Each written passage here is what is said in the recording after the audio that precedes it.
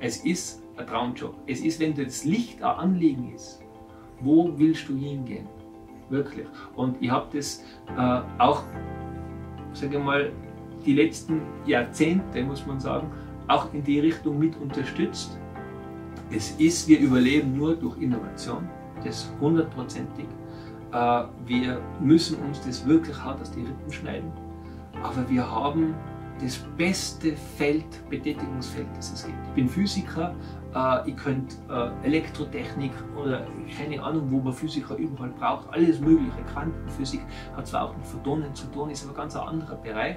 Und da reden wir von, von Licht, von Erleben. Und du musst schon mal einen jungen Entwickler anschauen, ah, zum Beispiel heute bei der Bemusterung, wenn dann alle unten stehen und dieses, das ist Licht, das ist erlebbar